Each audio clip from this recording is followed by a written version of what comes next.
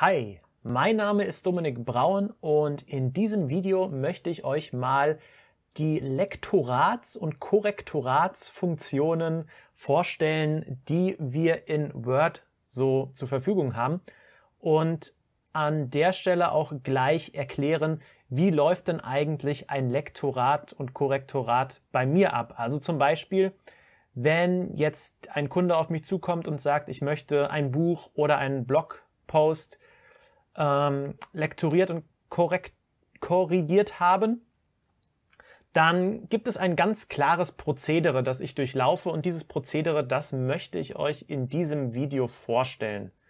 So, ich arbeite in diesem Video beispielhaft mal wieder mit einem Beitrag, den ich mir von meiner Work-Life-Balance Coach Seite kopiert habe. Und zwar ist das der hier. Wie kom kommt man in den Flow-Zustand? Ähm, genau, also falls ihr die Seite noch nicht kennt, könnt ihr gerne mal vorbeischauen. Super, super spannende Beiträge, auch von Gastautoren, eben rund um das Thema ähm, Work-Life-Balance, Gesundheit, bewusster Lebensstil. So, also ich habe mir den Text kopiert, habe absichtlich ein paar Fehler eingebaut, damit ich jetzt auch was zu korrigieren habe. Und als allererstes, wenn ich so einen Text bekomme und ihn mir in Word kopiert habe, beziehungsweise bei einem Buchmanuskript, das mir jemand schickt, ist das logischerweise von Anfang an schon in Word, ähm, stelle ich die Überprüfen-Funktion an. Also das heißt, Änderungen nachverfolgen. Und in dem Moment ist es jetzt so, alles, was ich jetzt hier korrigiere, wird am Rand vermerkt. Das heißt, der Nächste, der jetzt dieses Dokument öffnet, kann genau sehen, was ich hier verändert habe. Und das ist ja auch die Idee dabei dass derjenige, der mir den Auftrag gibt, sehen kann, was ich verbessert habe. So, wir fangen jetzt mal an. Wenn wir jetzt hier den Text lesen, ihr werdet jetzt gleich sehen, hier haben wir schon den ersten Fehler, hat wahrscheinlich jeder schon einmal erlebt, müsste das heißen. Also in der Gegenwartsform. Das heißt, wir ähm, nehmen das E hier raus, wir löschen das und zack, wird es rot.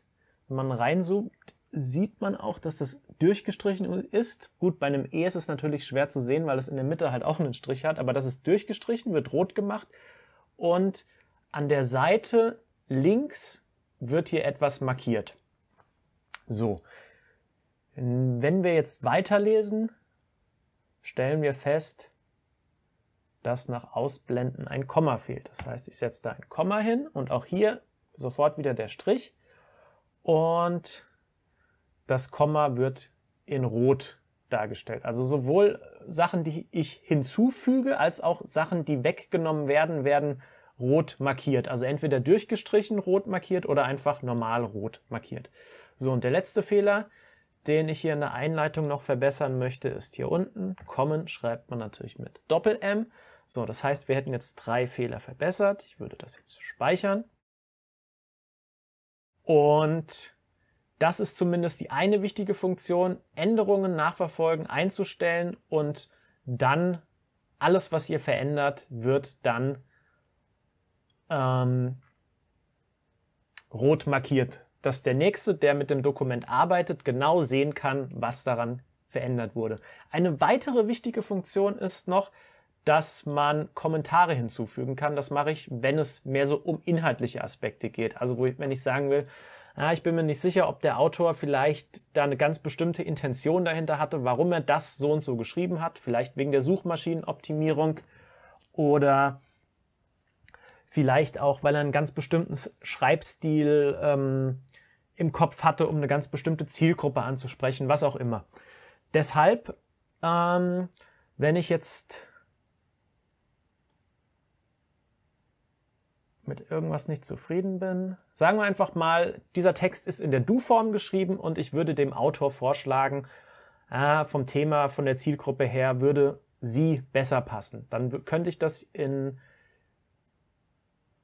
irgendeinem Bereich, wo das Du auftaucht.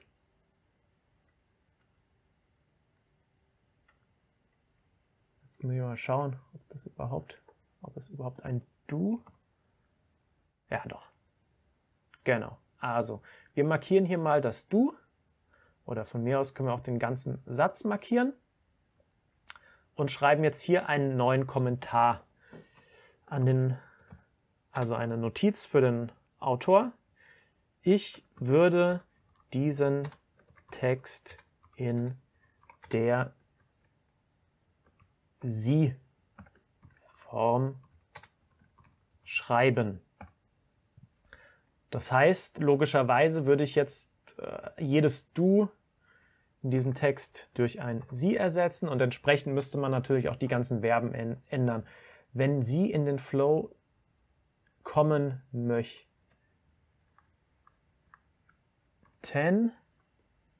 sollten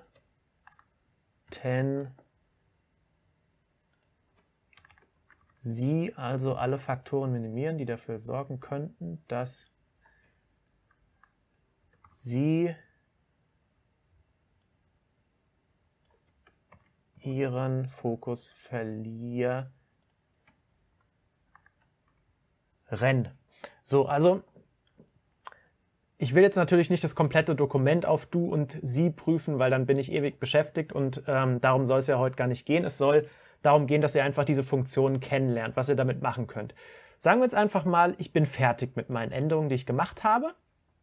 Ich habe einen Kommentar eingefügt und habe ein paar Sachen verbessert. Dann würde ich jetzt dieses Dokument an den jeweiligen Kunden zurückschicken. Ähm, in der Form, so dass er, wenn er jetzt das Dokument öffnet, würde es bei ihm ein bisschen anders aussehen. Dann sind die Sachen, die hier ähm, verändert wurden, sind, glaube ich, dann in Blau oder so. Also, dass er sehen kann, Autor Dominik Braun hat an dem Text das und das bearbeitet. Und dann gibt es jetzt die Option, dass er eben jede Korrektur prüfen kann und sagen kann, ja, die nehme ich an, oder er kann auch sagen, nee, das will ich so lassen, wie es im ursprünglichen Zustand war. Also bei mir persönlich ist das so, ich mache es hm, in der Regel in den meisten Fällen so, dass ich den Kunden zwei Dokumente schicke. Also einmal das, wo sie nachverfolgen können, ähm, was ich korrigiert habe, also wo die ganzen ähm, Bemerkungen und ähm, äh, na, wie sagt man denn? die ganzen Striche am Rand sind und diese ganzen roten Markierungen eben zu sehen sind. Und ein Dokument, wo ich die ganzen Änderungen schon übernommen habe. Also zum Beispiel kann es ja sein, dass es Kunden gibt, die ein sehr, sehr langes Buch geschrieben haben, die gesagt, die, die zu mir sagen, ich vertraue dir einfach blind, ich will da jetzt gar nicht nochmal drüber schauen. Ich werde alle Änderungen so übernehmen, wie du mir das vorgeschlagen hast oder so. Ähm, deshalb immer zwei Dokumente, die ich meistens schicke. Einmal, wo die ganzen Änderungen mit eingearbeitet sind und einmal, wo der ähm, Auftraggeber nachverfolgen kann, was habe ich denn jetzt hier rot angemerkt und er kann dann nochmal prüfen, ja, will ich das annehmen oder will ich es nicht annehmen. Und das Ganze läuft jetzt wie folgt ab. Wir haben hier die Möglichkeit, dass wir, wenn wir jetzt ähm, an diese Stelle gehen, zum Beispiel hier, wird der Autor jetzt sehen, okay, ich habe ein, also dass ich als Lektor und Ko Korrektor ähm, dieses E hier durchgestrichen habe. Das heißt, er kann jetzt hier draufklicken und sagen, annehmen und weiter. Das heißt, wie ihr seht, jetzt ist es nicht mehr rot, sondern es wird verbessert, so wie es korrekt sein sollte. Und der Strich am Rand verschwindet auch. Und so kann man sich jetzt durch dieses komplette Dokument durchnavigieren denn es springt jetzt automatisch zur nächsten Stelle, wo etwas markiert ist und auch da kann man jetzt entschieden, äh, entscheiden, annehmen oder ähm, lasse ich so, wie es im ursprünglichen Zustand war. Also jetzt würde man logischerweise annehmen und weiterklicken, dann ist ganz offensichtlich ein Kommafehler. Ähm, und auch das hier würde man logischerweise verbessert haben wollen. So, hier unten ist es jetzt natürlich so eine Geschmackssache. Wie gesagt, du oder sie Form. Das heißt, hier könnte jetzt zum Beispiel der Auftraggeber sagen, nein, ich will das in der Du-Form lassen. Das heißt, er würde dann nicht auf Annehmen und weiterklicken, sondern würde es auch so lassen. Und eine hübsche ähm, Funktion, die er hat oder die auch ich habe, ist, dass man einfach hier auch klicken kann auf alle Änderungen im Dokument annehmen. Das heißt, dieser Satz hier wo wir ja diverse Verbesserungen hatten, muss man nicht Stück für Stück dann irgendwie durchspringen, sondern ich hätte jetzt hier alle mit einem Klick sozusagen übernommen und der Satz würde jetzt in der Sie-Form sein. So, das sind also die groben Funktionen, die ihr über diese Überprüfen oder Änderungen nachverfolgen Funktionen in Word habt. Also einerseits ist es natürlich gut für euch zu wissen, wie läuft es ab, wenn ihr jetzt zum Beispiel mit mir zusammenarbeitet und ich ein Buch oder einen Blogbeitrag lektoriere und korrigiere. Oder aber ist es natürlich für euch selbst interessant, wenn ihr einfach irgendwie unter Kollegen oder unter Kommilitonen vielleicht gegenseitig eure Texte korrigiert, dann könnt ihr natürlich auch von dieser Funktion Gebrauch machen.